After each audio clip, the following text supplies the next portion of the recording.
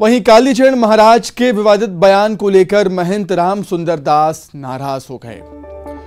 और नाराज़गी ज़ाहिर करते हुए उन्होंने कहा कि धर्म संसद अपने उद्देश्य से भटक गया है। महापुरुषों को गाली दी गई है।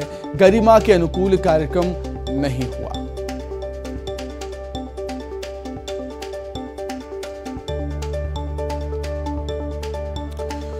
तो देखिए, कालीचरण महाराज ने विवादित बयान दे दिया। उन्होंने देश के विभाजन के लिए महात्मा गांधी को जिम्मेदार बताया और गोडसे को नमस्कार उन्होंने मंच से किया, जिसको लेकर अब थोड़ा बवाल यहाँ पर नज़र आता है, होता हुआ। और इस पर इसी बयान पर महंत राम सुंदर दास नाराज़ हो गए। उन्होंने कहा कि धर्म संसद अपने उद्देश्य से भटक गया है। महापुरुषों को गाली यहाँ पर दी गई। गरिमा के अनुकूल कार्यक्रम नहीं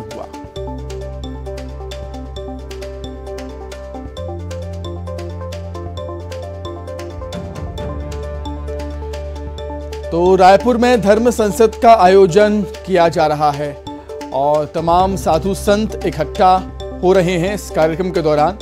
और उद्देश्य है धर्म की रक्षा, जिसको लेकर कालीचरण महाराज बोल रहे थे, अपना बयान दे रहे थे। और ये वही कालीचरण महाराज हैं, जिनका कुछ दिनों पहले एक वीडियो काफ़ी वायरल हुआ था। राजधानी भोपाल के भोजपुर मंदिर में इन्होंने शिव तांडव गाया और उससे ये सुर्खियों में आए। उसके बाद से उनका वीडियो लगातार चर्चाओं में था और इन्हें रायपुर में भी आमंत्रित किया गया।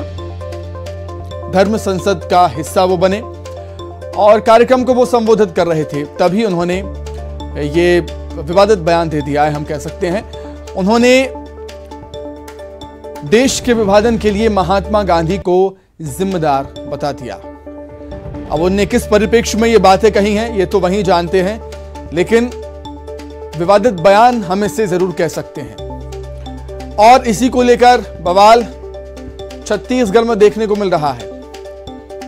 और कालीचरण महाराज के बयान पर महंत राम सुंदर दास नाराज़ हो गए हैं। अपनी प्रतिक्रिया देते हुए कहा कि धर्म संसद अपने उद्देश्य से भटक गया है। महापुरुषों को यहाँ पर गाली दी गई। गरिमा के अनुकूल कार्यक्रम नहीं हुआ।